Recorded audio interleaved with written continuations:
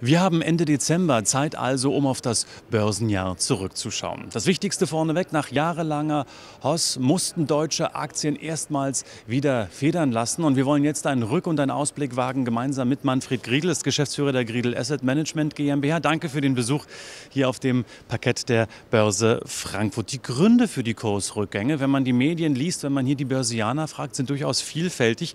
Welche waren denn aus Ihrer Sicht die entscheidenden? Ja, ich denke, zum einen ist es mal sicherlich so, dass der Zinserhöhungszyklus in den USA ganz entscheidend war. Die Fed ist in einem echten Zinserhöhungszyklus gewesen in diesem Jahr und die Zinsen sind dreimal in einer Woche wahrscheinlich dann zum vierten Mal nach oben genommen worden. Die ganze Zinsstrukturkurve in den USA ist gestiegen und das war also ein ganz entscheidender Faktor.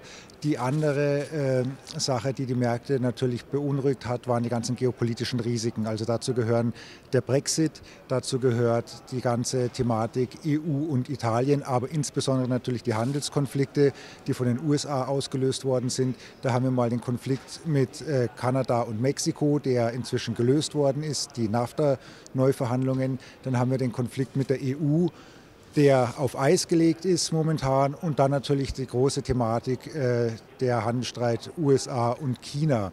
Und das ist natürlich ein Cocktail gewesen, der jetzt nicht gerade sehr förderlich war für die äh, ganzen Märkte und insbesondere auch für das Wirtschaftswachstum. Das Wirtschaftswachstum ist in diesem Jahr jetzt doch geringer als noch vor einem Jahr erwartet, aber es ist trotzdem noch gut gewachsen. Und äh, somit hat es doch immer wieder Unsicherheiten gegeben. Und das hat dazu geführt, dass wir an vielen Stellen Probleme im System hatten. Wir haben es auch gesehen in den Schwellenländern, äh, wo wir in der Türkei und in Argentinien größere Krisen hatten. Viele Emerging Markets sind um über 20 Prozent in dem Jahr gefallen an den Aktienmärkten. Und auch in der Eurozone haben wir jetzt leider Gottes doch größere Einschläge hinnehmen müssen. In jedem Falle reden Sie als Börsianer dann gern von Volatilitäten, die zugenommen haben. Also die Schwankungsbreiten sind schlichtweg da. Wie gehen Sie in den Portfolios damit um? Ja, wir sind an sich vor einem Jahr schon sehr defensiv gestartet in das neue Jahr und konnten deshalb den ersten Abschwung, den wir im Februar, März hatten, relativ gut äh, aussitzen und haben Ende des äh, ersten Quartals dann angefangen, ein echtes Re-Risking in, in, den Portfolios vorzunehmen. Das heißt also wieder Aktien gekauft und konnten von der Kurserholung, die dann bis Mitte Mai, Anfang Juni äh, sich ja auch eingestellt hat, sehr schön profitieren und haben dann aber wirklich im Frühsommer äh, sehr deutlich wieder Aktien verkauft und abgesichert und sind an sich mit einer sehr geringen Aktienquote in das dritte und vierte Quartal gegangen. Wir haben dann erst in den letzten sechs, sieben Wochen wieder angefangen, Aktien zu kaufen, haben diese reduzierten Niveaus jetzt genutzt, um einfach wieder Exposure aufzubauen von Aktien. Mit anderen Worten, Sie finden es sogar gut, wenn die Kurse mal fallen. Ist es gesund, wenn die Kurse fallen, weil man dann einfach günstig nachfassen kann? Ja, also gesund ist es für die Nerven nicht unbedingt, das muss man schon mal sagen. Äh, das waren schon einige echte Stressmomente in dem Jahr, äh, die da dabei waren, egal eigentlich, wie man positioniert war. Aber es ist natürlich gut, wenn die Kurse fallen, denn dadurch ergeben sich immer wieder Möglichkeiten, auch zu einigermaßen günstigen Kursen einzukaufen. Und wenn man jetzt nicht von einer globalen Rezession ausgeht in den nächsten äh, ein, eineinhalb Jahren, dann sind aktuell natürlich gute Möglichkeiten, um Aktien zu kaufen. Ganz sicher wird uns auch im Jahre 2019 die politische Situation an den Börsen beschäftigen. Eines aus europäischer Sicht ist sicherlich der Brexit Ende März. Da wissen wir noch immer nicht ganz genau, was nun passieren wird. Viel Unsicherheit. Wie gehen Sie mit dem Thema Brexit um? Ja, der Brexit ist so ein typisches Thema, das man analytisch gar nicht erfassen und bewerten kann. Und das muss man sich auch als Börsianer klar machen, äh, egal welche Modelle man verwendet. Das ist ein sehr politisches Thema und äh, wie das Ganze ausgeht, weiß eben wirklich kein Mensch. Und jetzt hätte man eigentlich erwartet, dass im britischen Unterhaus abgestimmt wird. Das ist alles wieder verschoben worden. Der Ausgang ist vollkommen offen. Und für uns heißt es in der Anlagestrategie sehr klar, wir haben kein Exposure in Großbritannien und wir haben auch kein Pfund-Exposure, weil wir es einfach überhaupt nicht fassen können. Bleiben wir trotzdem im Jahr 2019 und schauen nach vorne. Ähm, getreu dem Motto folgend, The Trend is your friend, müsste man sich offensichtlich warm anziehen. Gerade wenn wir die letzten Wochen am Aktienmarkt gesehen haben, es ging doch deutlicher unter die Marke von 11.000 Punkten. Welche Erwartungen haben Sie ans Börsenjahr 2019 insgesamt?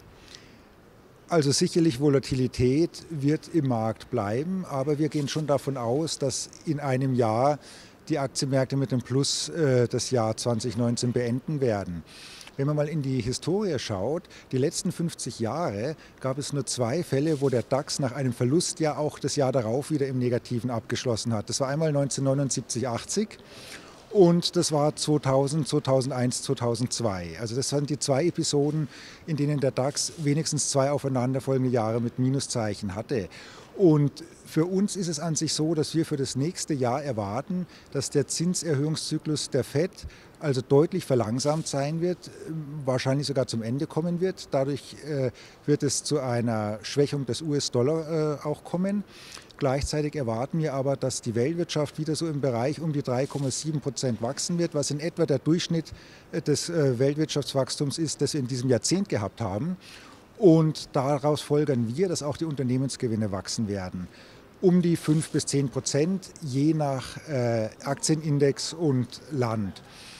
Und äh, das sollte dann an sich dazu führen, verbunden nochmal mit einer gewissen Entspannungstendenz im Handelskonflikt USA-China, dass die Aktienmärkte eben doch so ein bisschen Rückenwind kriegen werden im Jahresverlauf. Aber es wird nicht eine Einbahnstraße sein im nächsten Jahr. Man muss mit Rückschlägen rechnen und entweder sitzt man die aus, ganz cool, oder man sucht sich eben Absicherungsstrategien, um von solchen Rückschlägen nicht zu stark betroffen zu sein.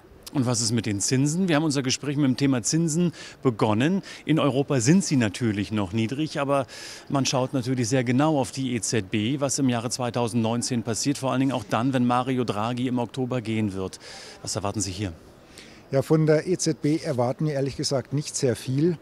Bestenfalls, äh, dass die Zinsen, die negativen Zinsen in einem Schritt mal ein bisschen reduziert werden. Aber im Grunde genommen gehen wir davon aus, dass man hier in Deutschland auf Sicht von einer Generation mit sehr, sehr niedrigen Zinsen rechnen muss. Äh, das wird ähnlich wie in Japan sein.